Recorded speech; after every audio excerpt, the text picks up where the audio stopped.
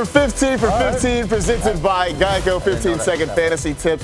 You send us your fantasy questions on Twitter by using the hashtag 15 for 15. Cue the music. Give me two minutes on the clock.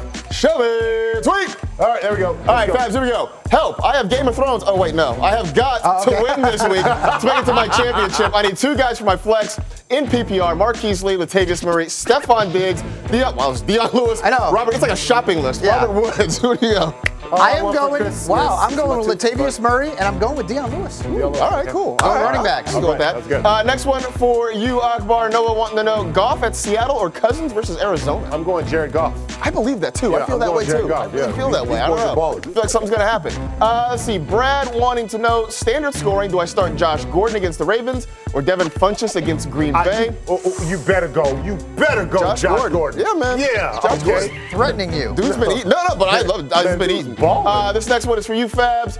Uh, Christiana asking Sanu, Fitzgerald, Crabtree, or McKinnon need two. I'm going Crabtree and Fitzgerald, but I do love Sanu this week. I do like Sanu a lot this week, but I think it's those two guys up. Uh, Akbar, Eric James Ward asking, really torn between Robbie Anderson and Rod Smith in PPR.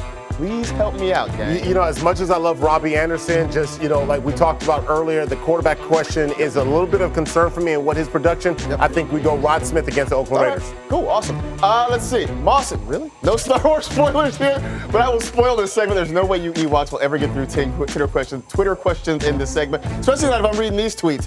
Uh, All right, keep going. Fabs, the next one is for you. Sam wanted to know Derek Carr, Nick Foles, Jameis Winston need two. It's a two QB league. Derek Carr is on the bench. All right, Derek Carr, sit him. Uh, Dirty Dan, should I sit Mike Evans in favor of Marquise Goodwin? No. All right, cool. No, please, Easy Mike enough. Evans. Uh, the next one up. Come on. Uh, stick with McCaffrey at running back or risk Ajayi against the Giants. I'm getting on the J train this week. All right, I'm on the. J train. Let's go. Let's Come go. on. Here we go. Come on. Woo! Yes. Juju, McKinnon, or Burkhead. Starting flex, Fab. Burkhead. We did Nice. it. Get- we got get another two. one. Let's get another We got one. 15. We got Let's go. Go. Let's go. Another one. Another one.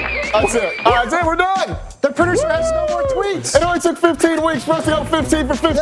Presented by Geico. That was all 15. Hey, and that West Side 15, too. Here